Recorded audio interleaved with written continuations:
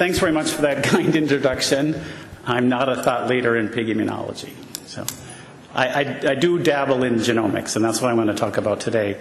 Uh, so this is a talk that uh, Jack and I put together um, um, based on thinking about how we might be able to uh, talk to this group about some of the genomic tools that are going on in, in, in, the, in the genomic area. So, uh, so the, the talk will be um, really developing some resources and tools, and I, and I want to talk first about uh, some of the genetic approaches, GWAS um, approaches to look at response uh, to PRRS infection. Um, the outcomes, just briefly, the outcomes of using some of these tools, because I think that this has been discussed in this group in, in the past five or so years. Um, but then also how to improve these approaches with new genomic um, uh, information. And specifically, I want to um, emphasize some of the new uh, work that we're doing on functional annotation in terms of the FAANG project um, and then the current uh, uh, USDA FAANG projects. Okay. So a little bit about GWAS, because I know this is not a, a strong, uh, a strongly genetic group, more of an immunology group. Uh, the purpose of GWAS is to um, try to uh, identify the regions of the genome that harbor variation that might control superior responses to infection. So we're interested in a genetic approach. And if, and if regions can be identified that control heritable differences in response, then those could be used to select for improved responses. So just in a little bit of an aside on GWAS and um, to, to, describe it a little bit more, uh, if you don't uh, know the variant that's causing a superior response, a genetic variant, how can you assay for it? And so I just give a little bit of a background on that. So um, if we have tools that follow each portion of the genome independently uh, through a genotyping approach, we can find variable regions um, that present primarily in animals with superior traits. Uh, and the, the idea is, is, is, shown in the figure on the side. If we think about uh, an important variant that might improve our responses um, as, a, as a new mutant in, a, in an animal, uh, what we have around that mutation is, is other DNA variants. And in that founder animal, those DNA variants are, are very close to that, to that mutation. Over time, the, the variants are, um, are, are, going to be uh, segregated away uh, through recombination, but the variants that are very close to that important causative variant will, will maintain that linkage. And so that's the, the basic idea that we're working from. Is it, and this is called linkage disequilibrium. The, essentially, these markers are so close that they remain linked uh, to the variant of interest over time. And so that allows us to find uh, variants that we don't have an assay for and we don't even know what they do. So what's needed for GWAS studies? Uh, essentially, we need the phenotypes, and that's where we rely on you to, to help collect those responses to PRRS um, but also genome-wide genotyping tools. And they need to be accurate, cheap, and, and, quite easy to use.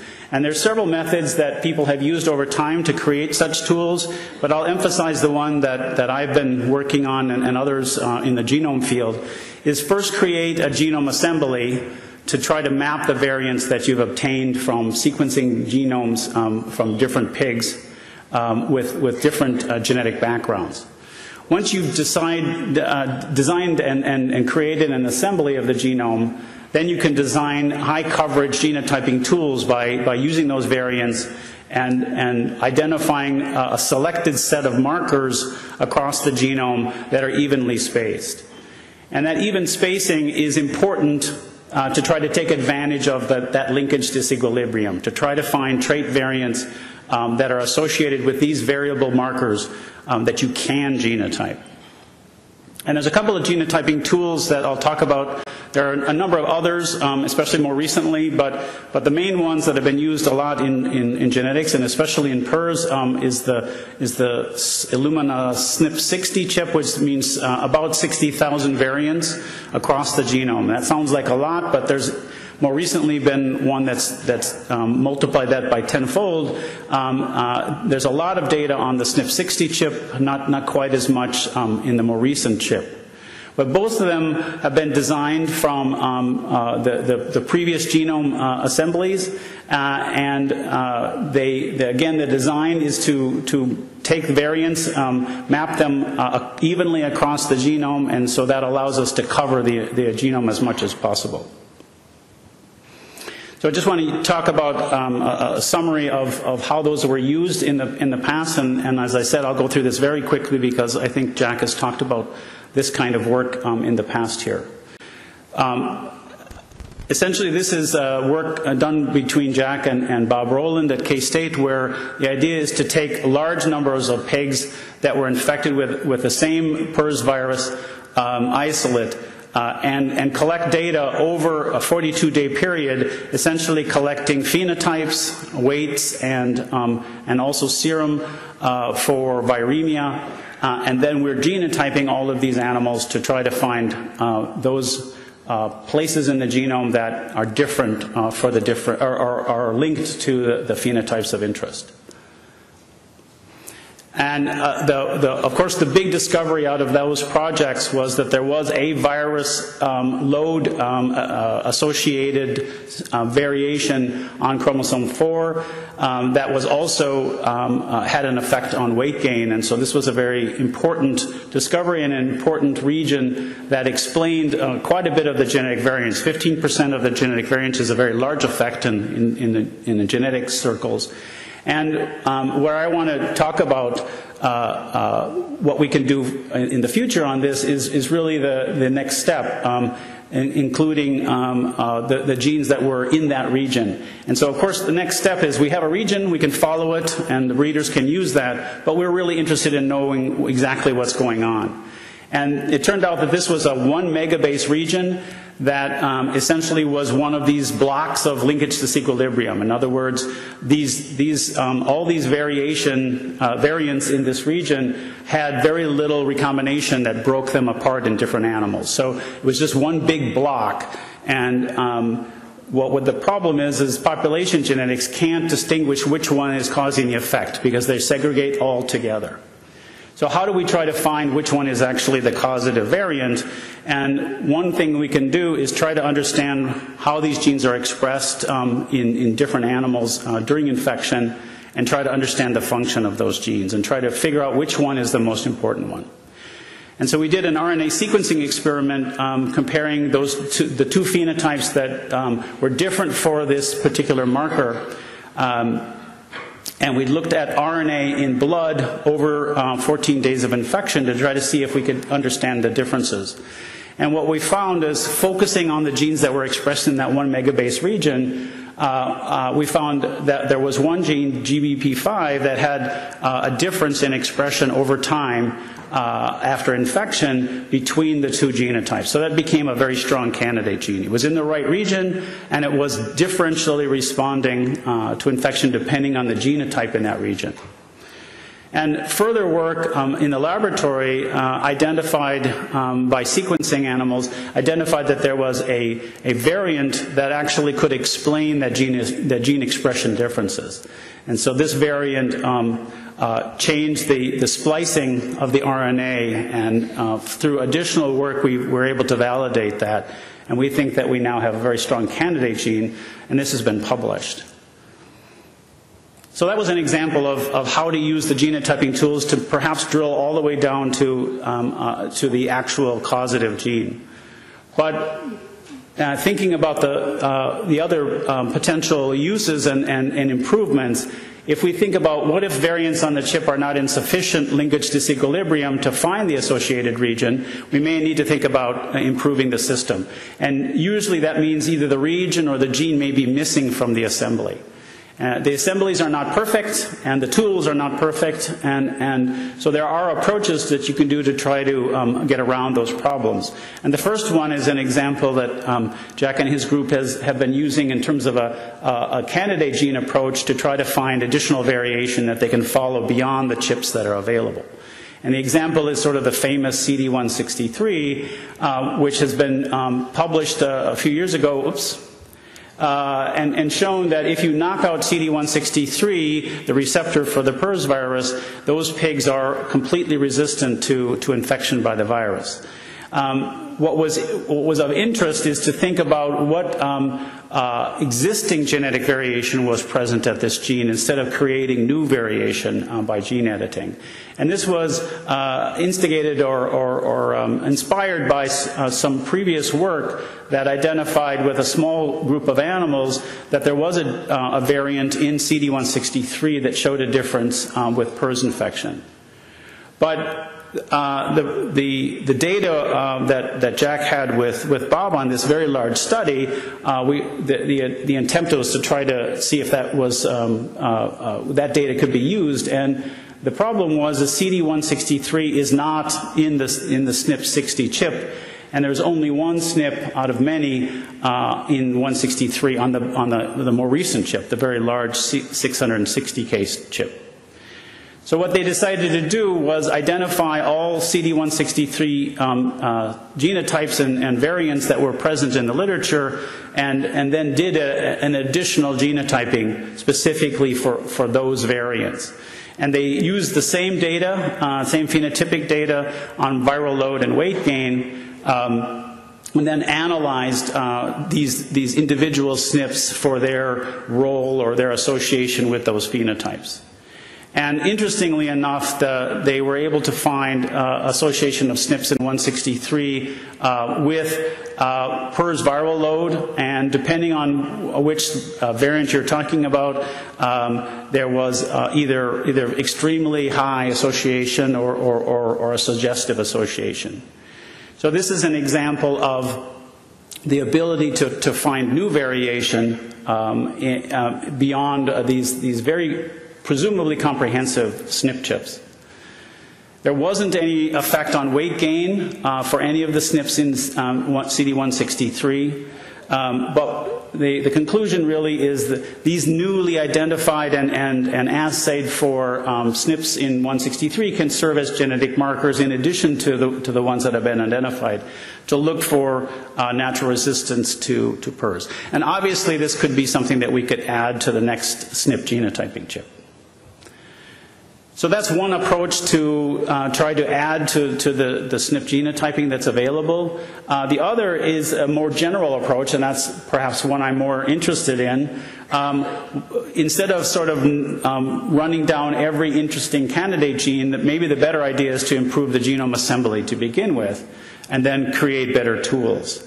And we do have an improved pig genome assembly. Um, it's um, uh, uh, build 11.1. Uh, uh, the old build was 10.2, which has been out for about uh, eight years now, but the, but the 11.1 was, was put out into the literature um, in, in, terms of bioRxiv last year, and, and the, the sequence has been available for about a year and a half.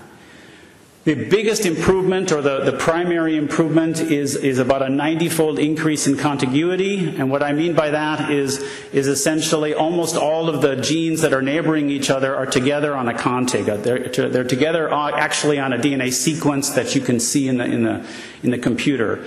The previous uh, assembly, uh, we, we had very good completeness, but most neighboring genes were on separate contigs. We had a lot of gaps in the actual sequence, sort of a dirty little secret in the genome assembly. It wasn't really assembled. Now this gives you a good example. It's a little hard to see it perhaps, but the, but the black and gray bars are showing alternate contigs. So every time you change a color, you change, and, and you have, there's a gap in the, in, the, in the assembly. And so this was the original assembly. Um, this is the current assembly, and so you can see that there's huge swaths of chromosomes that are contiguous. A, a single DNA sequence is available. Even for some chromosomes, we, we basically have an, an entire assembled chromosome. We still have about 500 gaps, which sounds like an enormous number. Um, but if, if, you look at the best human genome at the moment, we're actually better than the, the, the human genome in terms of gaps uh, with some of the newer technology. Probably more importantly is that um, with this contiguity uh, improvement, we've also been able to find more genes because they're, they're present in their correct sequence and they don't have gaps or missing pieces. So we've added about 20% um, more genes. So the SNP chips can, can now be further improved. Um, we'll have better spacing, and we'll clearly we'll be able to include more genes. And I wanted to emphasize um, that the, the, the, assembly itself is not just good for SNP chips and, and for GWAS and genetics, but it's also a basis for, for more accurate use of genomic tools like transcriptomics for immunity, nutrition, reproduction, physiology, etc. So, so I encourage you to, to use the new assembly. Um, so finally in this area, I wanted to also discuss what if you have many SNPs that are associated with a trait variation. So, so for example, in PRRS, they, uh, we were fortunate enough to have one very large effect, even though there were um, a number of SNPs in that region, and we were able to, to drill down to uh, GBP5. It may work to, to select a SNP just within an LD region, um, but there'll be discussion tomorrow by Ryan Jian about where sometimes that SNP is not always an LD in all populations. But, and you could also do what we did with GBP5, but that's extremely time consuming and it's very costly. Um, it involves a large amount of experimental work. And so we need a more comprehensive means to try to filter SNPs to find the ones that are relevant to the trait. And, and what, what are the methods that we can use to try to figure out which SNPs are important? Uh, this is just a little cartoon to describe um, the, what, what, I'm thinking, what we're thinking about in the field. If you think about a, a genome where you have a couple of, uh, of different genes in it um, that are identified, and maybe you have a bunch of SNPs across this region that are all associated with controlling PRRS um, titer, how do you try to figure out which one's important? Well, this one's in a gene, so maybe that's the most important one. I mean, genes are what um, are, are, are, an important component of our responses. But on the other hand, um, you might also uh, be interested in the regulatory sequences, and there might be a regulatory sequence that's, that's turns genes on in macrophage cells, which could be quite relevant to PRRS. And so maybe this SNP is, more, is the more important one maybe more important, especially since this gene is only expressed in the mammary gland if we had that information. So that may, may mean that this SNP is much more important. But on the other hand, there are also other regulatory uh, sequences that we don't even know what, whether their uh, function is. They may be controlling that gene or that gene, we don't know. And so, in, in fact, it may actually be this SNP that's more important. So the, the regulation is potentially important. Um, and is there evidence that gene regulatory regions actually contain important genetic information? And, and uh, I wouldn't be telling you this if there weren't, uh, of course. So there is good evidence um, in, in the human literature that trait-associated genetic variation is enriched in genes, and that's, that's pretty obvious. You'd expect that, that GWAS SNPs um, that are in genes to be associated or significantly enriched um, uh, for uh, uh, if they're in protein coding regions. And that's, that's relative to, to SNPs that are just in intergenic regions. But what's interesting is that there's also an enrichment of SNPs that are associated with traits that are in regions that are flanking or outside known coding regions. So, so if you look at the, the, the um, transcriptional start site or nearby, they're, they're almost as, as highly enriched in those regions as they are in coding sequences. And this has been shown in livestock as well, out of some work out of Australia in cattle. Um, what they found was when they mapped human regulatory sequences to the, to the bovine genome and then looked to see um, where SNPs that were associated with um, traits like fat yield, milk yield, or protein yield, where are those um, uh, uh, SNPs? They found that they were highly enriched in regulatory sequences, much more than they found if in a random sampling. So again, this is information that tells us that regulation is important and, and will contain a lot of variation that's of interest to us. So if we, if we think about how we can uh, use that kind of an idea in genomics, if we had a detailed map of where all the functional elements are in the pig genome, we could then filter um, any associated SNPs and focus on the most relevant SNPs for genetic improvement, for example, for res resistance. And this has been uh, worked on in the human field. Uh, it's called N- the ENCODE project. Um, uh, a lot of the, the work of the ENCODE project uh, came out a few years ago. And the basic idea is how do we find the regulatory regions in the genome? And the, the, the, the, two things that are important are what part of the genome is expressed, and so we look at RNA levels and, and where the RNAs are in, in, in the genome. But we also are interested in what part controls that expression, the regulatory parts. And, the, and I won't have time to talk about all the different assays for that, but, but essentially what we're looking at is what regions are open for business and, and are, are there to, to, uh, to allow regulation and expression of genes, and what parts are completely closed off and are not turned on in a particular tissue. And essentially what the Human ENCODE project did was collected all these samples, all these data on, on a number of, of samples, many different kinds of samples, um, but collected them all, all in the same uh, in, individual samples, and that allowed a predictive model for genome function. So all these different assays can point to a particular um, function in, a, in, the genome. For example, the, the, the promoter for this gene. And so these, all these different assays predict that and it allows us to predict the chromatin state, whether it's open or whether it's closed. And, uh, and, and then further take that all the way across the genome and create a functional map um, of the genome segments. And uh, this is a $150 million project, which I'm summarizing in one slide here. Um, but essentially, what they were able to do is link chromatin state, or, or the, the predicted function of the, of the chromatin region, to phenotype through um, uh, looking at the SNPs. So they found that there, there was an effect on chromatin elements uh, linked to trait-associated SNPs, and that those SNPs were enriched in tissues that were directly relevant to those traits. So, so different, different diseases are shown here, like autoimmune, um, um, uh, different uh, neurological issues or, or, metabolic issues, and they found that the SNPs were in regions that were specifically um, functional or active in tissues that were relevant. So, for example, sorry. So, for example, for autoimmune diseases, you found um, these elements were, were found in regions that were active in, in T cells. So the idea is to, if you have trait-associated SNPs, you can look, the human geneticist can look in the ENCODE data for the function of the region around those SNPs, and then you can filter the SNPs based on, on those functions to identify the best candidates for causality.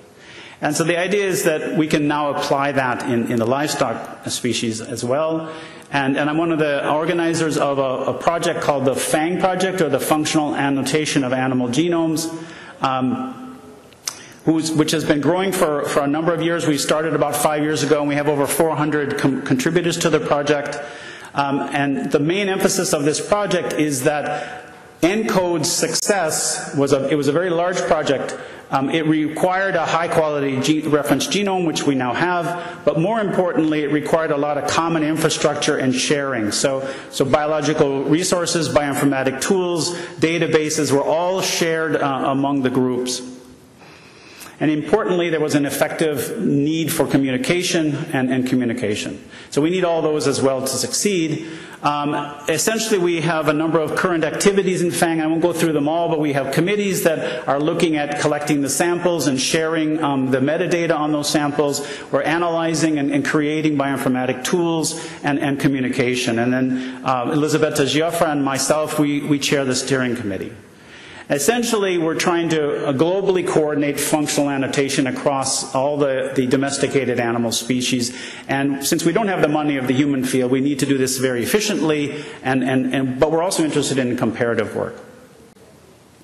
So this is the, essentially the basic idea of FAANG. We have a number of early projects, um, and, I, and, and, they're shown here. Uh, most of these are already underway, or even some of them are completed or nearing completion. I'll just briefly mention the USDA um, early um, uh, pilot project uh, at the UC Davis, where they were interested in, in um, looking at chicken, pig, and cattle, and doing the same assays uh, across all three of those species. This is a project run by Huaijun Zhou uh, at UC Davis.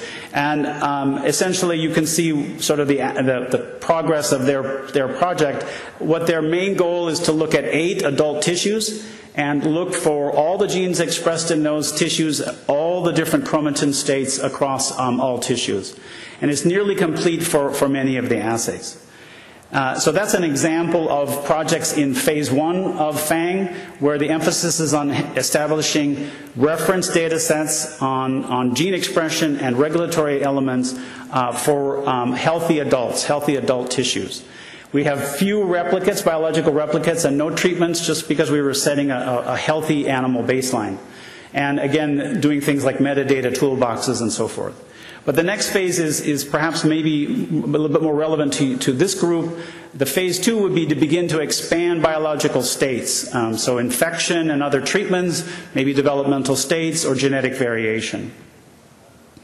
And so I'm heading up a project that was just funded last year. It's one of the main resource projects for FAANG, and it's called Functional Annotation of the Pig Genome. The overall goal is to catalog functional elements in the, big, uh, the, pig gene, uh, the porcine genome for many different biological states. The more biological states we have, the more specific we can be about the function of a region in the genome. And so we're extending the pilot project of Dr. Zhou from 8 to 25 tissues for adults. We're also looking at fetal tissues, and obviously for this group, we're doing a, a, quite a detailed study of the immune system where, where we're sorting circulating blood cells into um, nine different functional types and then doing extensive RNA and biochemical assays for chromatin function and, and expression um, in those uh, circulating blood cells. We're also doing some stimulations of macrophages and PBMCs to look at, at broad uh, responses um, to those um, uh, effects. And um, I think an exciting aspect is we're beginning to establish the, the use of single cell analysis for blood PBMCs and, and immune tissues. And then, of course, the last aim is to integrate the data. Uh, who, the people involved um, are UC Davis, who are continuing the adult um, uh, tissue work. Um, people at um, USDA MARC, uh, Dan Nonneman and Tim Smith, who are interested in fetal gene expression, um, Kathy, uh, um, Kathy Ernst and, and J.P. Steibel um, uh, and Wei Huang at Michigan State, who are doing all the DNA methylation work, which I didn't talk about. And then um, in Iowa, Crystal Loving, which you're, you're quite familiar with, um, uh, here uh, is is, doing uh, uh, most of the immunology work and immune, immune tissue analysis, and then we're uh, working on a lot of the bioinformatics and, and, data analysis. And just to wrap up, we have um, essentially um, some deliverables of, of looking at transcriptome and epigenetic information on about 40 biological states. Um, and then I guess, uh, uh, uh, of course, the, the idea is to predict the function of all these different uh, genomic regions so that we can prioritize SNPs um, and, and provide this resource for, for anyone working in any, um, any of the fields that, that would be interesting to, uh, of interest in pigs. So just a little bit of a conclusions and outlook um, for FAANG. Um, there's about $40 million now um, uh, been awarded for FAANG projects worldwide. About $7.5 million uh, from the three USDA projects that were funded last year. In addition, there's about another $2 million funded for smaller projects in, in other, another of other species, for example, in, in sheep and, and horse. Uh, about $20 million was funded just this year, and, or started this year, um, on three different projects in the European Commission, and, and there's fairly substantial projects in Australia and in Canada as well.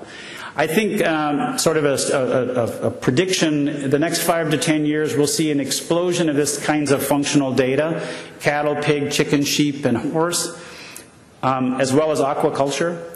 And I, I, feel like the, the main long-term goal for this is, is to try to realize a predictive biology. So to try to increase usefulness um, of that genomic information and our genetic information for society and industry. Specifically for the breeding industry, which I'm most closely aligned with, is again this idea of filtering SNPs um, with traits and potentially um, related to PRRS response as an example. And this was a very large project, both from the, the PRRS Host Genetics Consortium project, um, which I talked about very briefly, um, but, but both um, Iowa State and, and K-State were, were, main players in that, as well as many other groups that are involved in the P, PHGC. Uh, Joan Lunney is here from um, ARS as well. Uh, we also had um, groups outside the U.S. Um, that also participated in various aspects of the, of the PRRS projects, and we had funding and industry partners as well. Uh, in, in, terms of the FAANG project, uh, there's a number of groups involved, and I, it's hard to, to, talk about all of them, but uh, essentially we've had a lot of funding from NIFA, um, uh, and, and, some of the early projects uh, were funded by INRA and, and many, many other projects as well.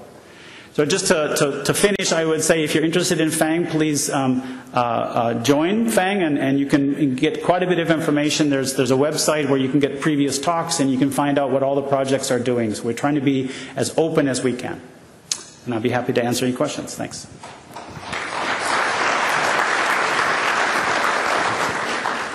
So, Questions for Dr. Tuggle? No, thanks.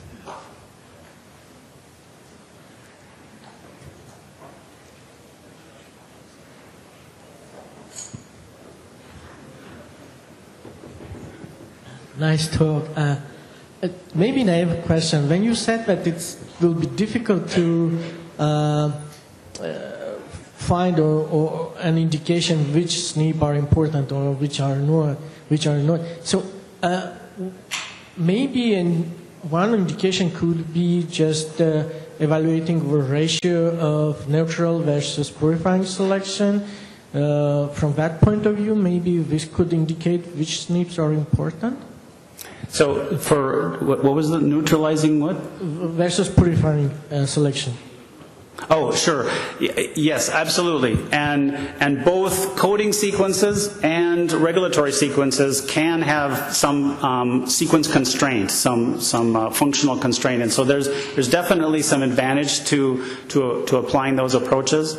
Uh, it's probably most fruitful in the coding sequencing area and, and, and in, the, in the RNA expressing area. But um, what actually has been found in the human field, which has the most data, is most of the associated SNPs are, are actually in, in less well conserved regulatory regions. So that's one of our problems. We don't have a strong um, uh, evolutionary constraint on those elements. Any more questions? I, I just have, I just have one. Uh, when looking at the relationship between the genome and response uh, to infectious disease, what about response to vaccination in terms of finding the genetics of protection following vaccination? Yeah, I think that's a, a really good idea. Um, I think one thing that I'm quite interested in is, is potentially looking at even within cells and, and thinking about what, what Toby was talking about. Can you, can you drill down to the single cells and see which cells are responding to vaccines and which cells are responding better to, to different vaccines? I think that could be really interesting in addition. But certainly, the genetic control of vaccine response would, is, is of, of strong interest. Okay, no more questions, we'll move on to next talk. Thanks, Dr. Tuggle.